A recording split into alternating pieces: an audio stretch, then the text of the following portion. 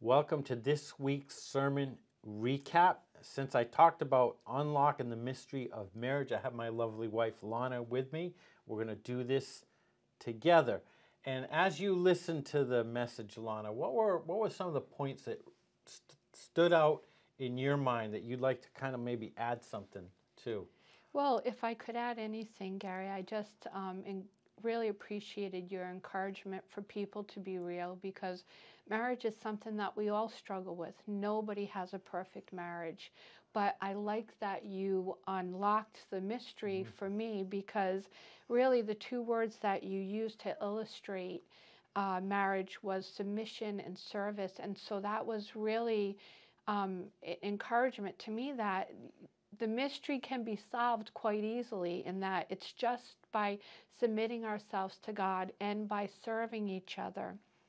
Um, I think it's amazing when you said that marriage is a place where we can demonstrate the gospel, that through our relationship, we have a chance to show other people God's love for them as we're demonstrating our love for each other.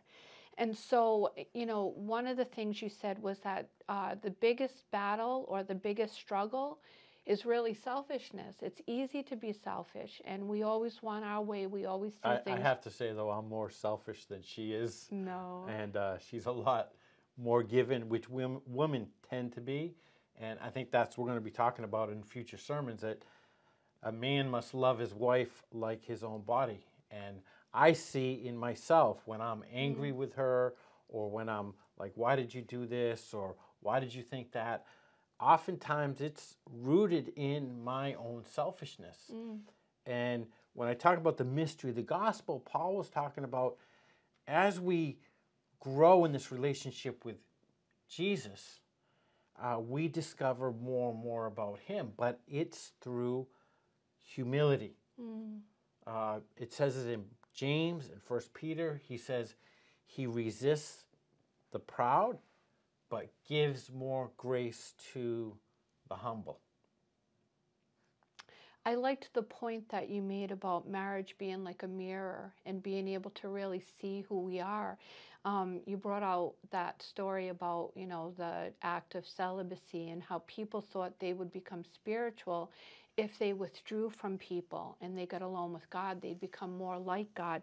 But really, marriage is the testing ground for how godly or ungodly we really are. And I've learned about a lot about myself uh, by our struggles. And every time I aggravate her, it gives her a chance to see the grace of God in her life, and the same with me. And I yeah. see that, and I sometimes I want to just just be quiet or don't say that or why do you have to uh, uh, as we say in uh, romanian uh, put a put a stick in our wheels right and yeah. stop me from going where i'm going and but if i was you know if i would just go on and ignore my wife she'd become angry she'd become bitter we're one we're going to be talking about that as we unlock these mysteries of marriage and so what i meant by that marriage is a place where you grow as Christians. You grow as you face tension. Tension is a place where you're either going to trust God or, or instead, or look to, to God to help us and where we pray. And I think part of that also I mentioned is not looking to our spouse for all the answers. And I talked about one of those false ideas of marriage, right? He's going to save me, he's going to mm-hmm. rescue me. Well, I'm a sinner. I'm not going to rescue her.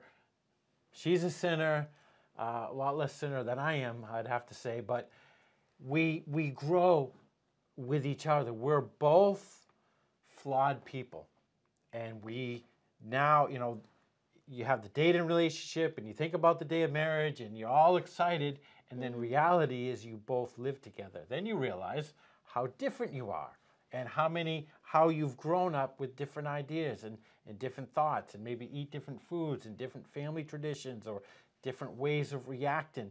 And so you have to work through those things. Well thank you for revealing the mystery of marriage for me well good uh, you're welcome And uh, we're continuing our study next Sunday, 10:30 at Faith Baptist Church, unlocking the mystery of marriage. We're going to be talking about what marriage is, and I think it's going to very it's going to be very helpful for us to understand what is marriage. What are the key elements of marriage? How can you have a marriage that's going to last? We're going to be married how many years in May? 34. 34 years. That seems like forever. Uh, I can remember when I was young and people were married 10 years or 15 years. I was like, wow, we're married 34 years. And I have to say, I love you more today than ever. And that's through discovering the mystery of marriage, through growing, growing close to Jesus. So, looking forward to seeing you this Sunday as we continue this series, Unlocking the Mystery of Marriage. Hope you join us. You're going to give me a kiss?